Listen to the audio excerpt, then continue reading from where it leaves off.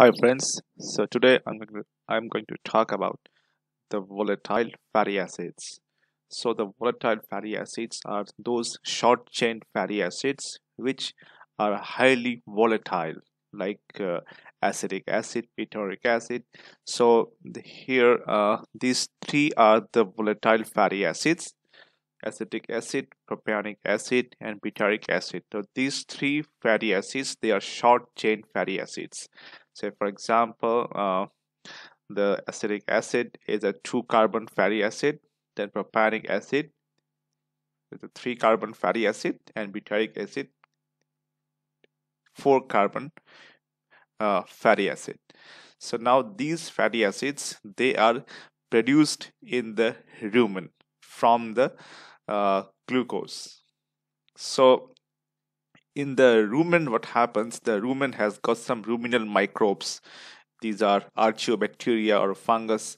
So these group of microorganisms they carry out anaerobic glycolysis. That is the glucose converts to pyruvate by the process which we call glycolysis that occurs inside these ruminal microbes. And then this pyruvate converts to acetic acid or it may convert to propionic acid or it may convert to butyric acid depending upon what kind of microorganism it is. Some group of microorganisms they convert pyruvate into acetic acid some convert it to propionic acid and some convert it to butyric acid. So the acetic acid which is produced in the rumen so this acetic acid converts to fatty acids in the liver. That means all these three groups of volatile fatty acids that is produced in the rumen by ruminal fermentation by the microbes. So these fatty acids they are absorbed through the ruminal wall and through blood they reach the liver.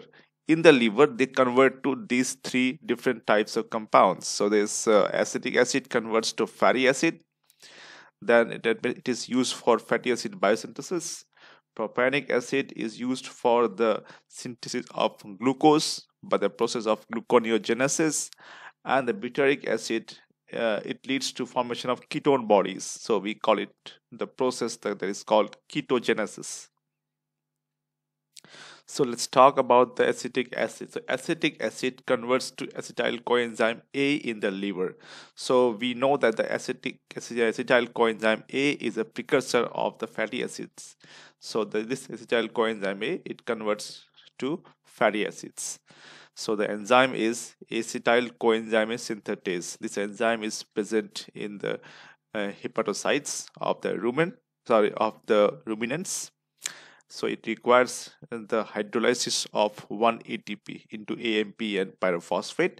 So here uh, you must uh, you must be aware that all those enzymes which leads to synthesis of a compound and requires ATP they are called synthetase and all those compounds all those enzymes which synthesize a compound without help of ATP they are called synthase. So since this particular reaction is involving ATP so it is called acetyl coenzyme A synthetase. Okay now let's talk about the butyric acid. So butyric acid the volatile fatty acid it converts to acetoacetic acid or acetoacetate that is a ketone body so first of all this butyric acid uh, through rumen it uh, reaches liver through blood. Now in the liver there's an enzyme acyl coenzyme synthetase so this enzyme converts butyric acid into butyryl coenzyme a. Then the butyryl coenzyme dehydrogenase enzyme it oxidizes this butyryl coenzyme a leading to formation of crotonyl uh, crotonyl coenzyme a then enoyl coenzyme hydratase. As the name indicates hydratase means it adds water molecule. So one water molecule is added and it forms the beta hydroxybutyryl coenzyme a. Then the next enzyme that is beta hydroxybutyryl coenzyme dehydrogenase. So this enzyme causes oxidation of this compound leads to formation of acetoacetyl coenzyme a which then uh, converts to acetoacetate. So acetoacetate is a ketone body. Now the propionic acid. So in the liver, when once the propionic acid reaches, so uh, it is acted upon by an enzyme called acyl acyl coenzyme synthetase so this enzyme converts propionic acid into propionyl coenzyme a and then there is a reaction of carboxylation so carbon dioxide is added to the propionyl coenzyme a leading to formation of methyl malonyl coenzyme a. So this reaction requires the hydrolysis of 1 ATP so it requires the energy.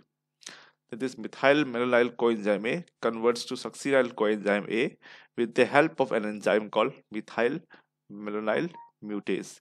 Now you know that this succinyl coenzyme A is a part of the TCA cycle it is an intermediate of TCA cycle. So now this succinyl coenzyme A enters the TCA cycle. Then in the TCA cycle, it converts to oxaloacetate then you know that uh, uh, this oxaloacetate is a precursor of glucose. So through gluconeogenesis, this oxaloacetate converts to glucose. So these are the, uh, the this the metabolism of the uh, volatile fatty acids that occurs in the uh, ruminants. so it depends upon this glucose fermentation that leads to formation of pyruvate.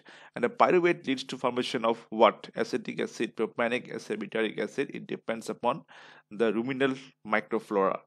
And the butyric acid uh, producing bacteria is more uh, and that means the the bacteria producing uh, causing this particular reaction their population becomes more uh, when the spoiled feeds are given to the ruminants and that leads to the ketogenesis. So that's all from for today. Thank you very much for watching this video. Thank you